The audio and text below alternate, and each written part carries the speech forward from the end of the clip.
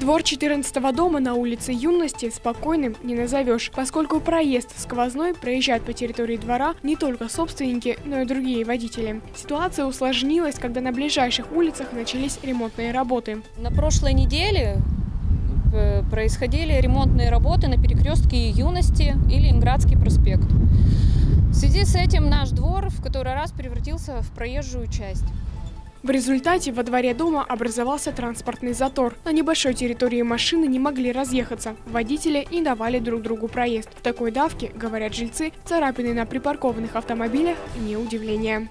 Но апогей всего заключался в том, что когда мусоровоз встал непосредственно около подъезда и не мог проехать ни в ту, ни в другую сторону, появилась полицейская машина, которая, сокращая путь, проехала через нашу дворовую территорию. И я считаю, что по правилам ПДД это противозаконно. Несколько лет назад проезжающая машина зацепила ребенка. После случая с травмированием ребенка здесь поставили шлакоблок, который ограничивал сквозное движение. Но вскоре о происшествии забыли, а преграду благополучно убрали.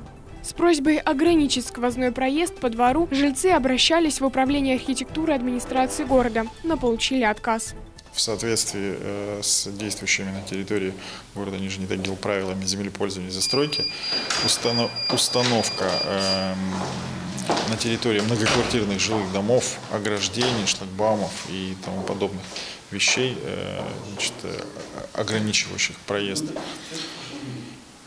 или проход свободный, запрещена.